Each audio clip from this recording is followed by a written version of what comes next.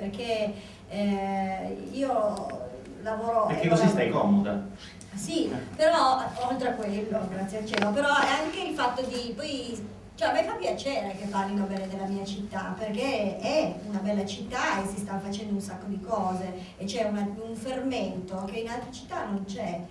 Eh, solo che noi facciamo sempre finta di niente, gestiamo un po' sulle nostre, invece bisogna gridarla questa cosa eh, e, e anche un po' eh, convincere i torinesi, che tutto sommato sono anche abbastanza accoglienti, del fatto che questa è comunque una cosa che serve anche alla città economicamente, no? Per cui se ci sono delle strade che sono bloccate, che non si può posteggiare, che ci sono i camion, eccetera, eh, sì, è una scocciatura, però è un indotto per la città fortissimo che poi porterà altre cose, quindi bisogna avere un po' di pazienza e, e accettare anche quello.